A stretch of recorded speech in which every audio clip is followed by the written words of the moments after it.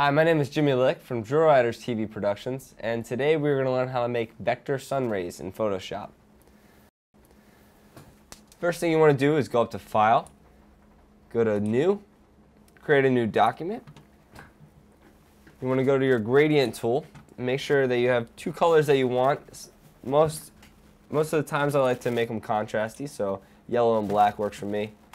Also make sure that your gradient is not transparent. It's actually the yellow and black that we have up here. Go to the middle of your document, click, hold down shift and drag to the very bottom. That gives you a really nice gradient.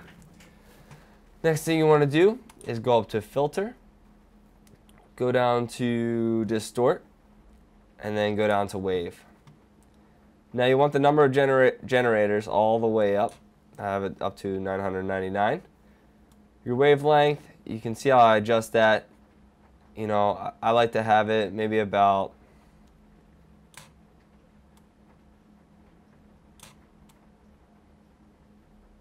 there and then make your maximum larger. So you can see that there's probably about 20, 25 lines down there. And that gives you a good amount of rays at the end. After you have that, looks pretty good. Go up to filter again, go down to distort, go down to polar coordinates. Make sure that it's on rectangle to rectangular to polar. Click OK. And now you have your vector sun rays.